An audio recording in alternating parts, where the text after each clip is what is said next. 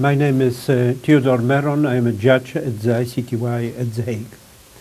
Uh, the title of my lecture is Reflections on the Prosecution of War Crimes by International Tribunals, a Historical Perspective.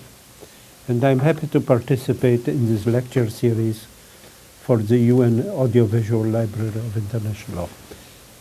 My topic, you already know, is the prosecution of war crimes by international tribunals. 61 years ago, the international community, seeking to heal the wounds of a brutal war, embarked on a bold legal experiment. For the first time in history, legal mechanisms were invoked to bring to justice the perpetrators of war crimes and crimes against humanity in international tribunals specifically designed for that purpose.